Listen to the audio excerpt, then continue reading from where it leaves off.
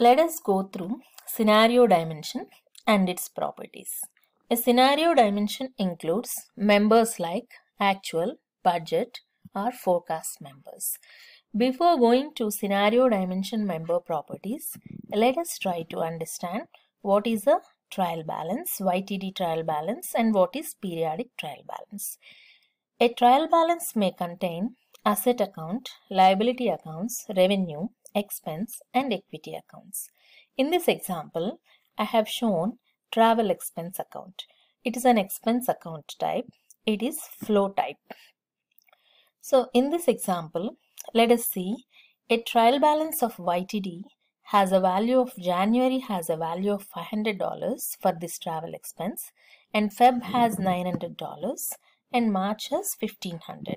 So in this example 1500 means it is YTD value as of March which is January plus Feb plus March.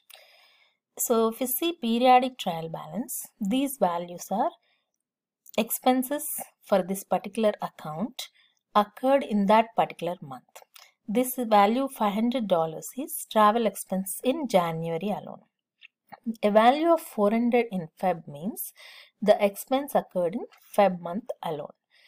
In HFM, it is possible to load either periodic trial balance or YTD trial balance.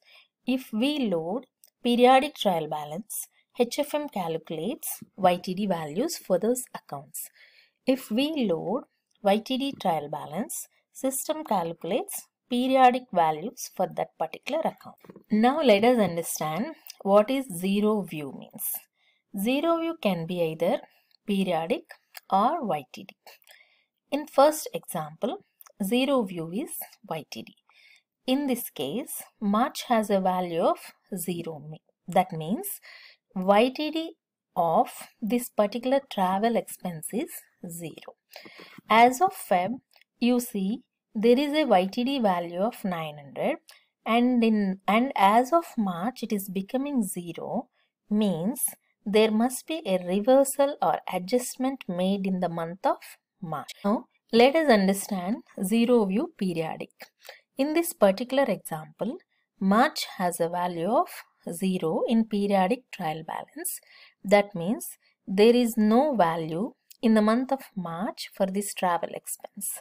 So as of Feb, there is a YTD value of 900 and there is no expenses in March. That means YTD of March is 900.